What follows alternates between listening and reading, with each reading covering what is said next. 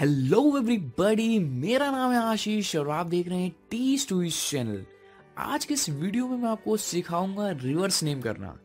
सो so, ये reverse name से मेरा कॉन्टेक्स्ट है स्विच करना. यानी कभी कभी होता है कि आपको लास्ट नेम पहले चाहिए और फ़र्स्ट नेम बाद में चाहिए. सो so, ऐसे क्वेश्चन आपके सामने कब आएँगे वो मैं इस वीडियो में आपको आगे बताऊँगा. सो so, एकदम न्यू टॉपिक है बहुत इंटरेस्टिंग टॉपिक है. तो मैं आपको सजेस्ट करूँगा कि इस वीडियो को आप एंड तक ज़रूर देखिएगा. सो बिना टाइम वेस्ट के अपने टॉपिक की ओर चलते हैं. लेट्स बिगिन द टॉपिक तो जैसा कि अब आप हमारा डेटा देख पा रहे हैं, सबसे पहले यहाँ पे ऊपर क्वेश्चन लिखा हुआ है कि नीचे दिए गए नामों को फॉर्मूले से उल्टा करें.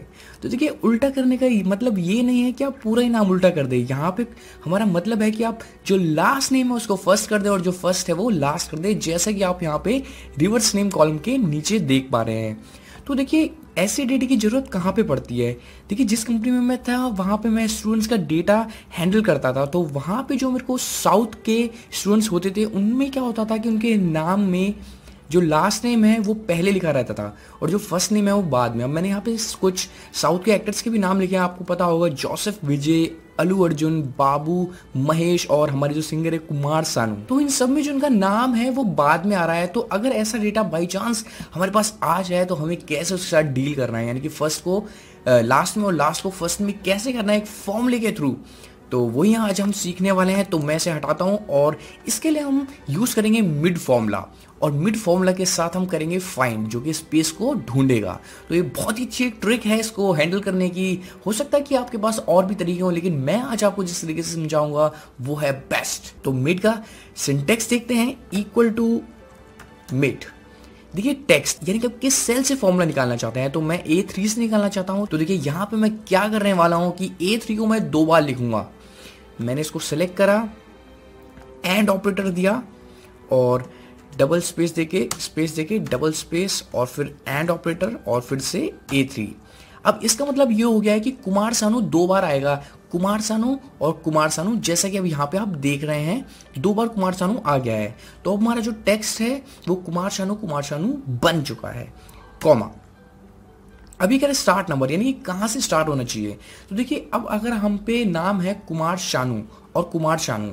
तो हमें उसके बीच का जो शानू कुमार है, वो निकालना है। यानी कि स्टार्टिंग का जो कुमार है, वहाँ से हमें देखना है कि जो एस है शानू का, वो एस कहाँ से निकलेगा? उसका जो लेंथ है, वो क्या है?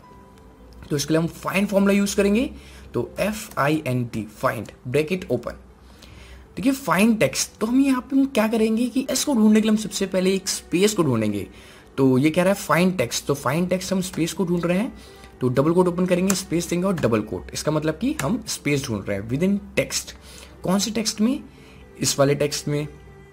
तो हम ए थ्री देते हैं। उसके बाद जो ये स्टार्टिंग नंबर ये आप डालें ना डालें, ये आपका स्टार्टिंग से चलेगा। तो ब्रैकेट में बंद कर देता हूँ यहाँ पे और प्लस वन कर देता हूँ। तो ठीक है प्लस वन मैंने इसलिए करा क्योंकि स्पेस के साथ हमें एस की पोजिशन चाहिए।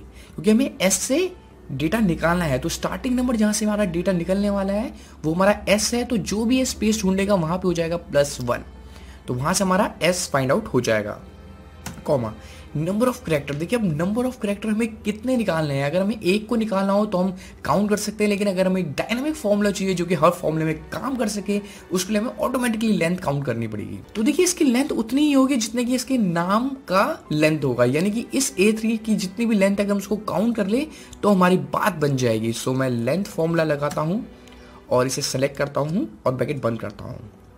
तो देखिए, जितनी भी इसकी लेंथ है, वो वहाँ से उठा लेगा। यानी तो यहाँ पे दो कुमार शानू आ गए थे इस फॉर्मूले से, कि कुमार शानू और कुमार शानू। उसके बाद हमने फाइंड लगाया, जिसमें से हमने स्पेस की वैल्यू ढूंढी और उसमें कर दिया प्लस वन तो जैसे यहाँ पे ये कुमार और शानू के बीच का स्पेस मिला होगा, उसने इस पर प्लस वन कर दिया, यानी कि एस पे हम पहुँच गए। अब एस से हमें शानू कुमार तक जाना है तो यहाँ पे हमने लेंथ काउंट करी कि इस कुमार शानू की कितनी लेंथ है, उतनी लेंथ यहाँ से हमें मिल जाए। तो इन दोनों की लेंथ तो सेम ही होनी है तो मैं इसको कर देता हूँ एंटर तो देखिए ये आ गया अब इसको नीचे ड्रैग कर देता हूँ, देखते हैं कि ये हमारा पूरी तरीके से काम सही कर रहा है या नहीं। तो देखिए ये सानू कुमार आ गया और जोसेफ विजय का, विजय जोसेफ, अलू अर्जुन का, अर्जुन अलू और बाबू महेश का, महेश बाबू।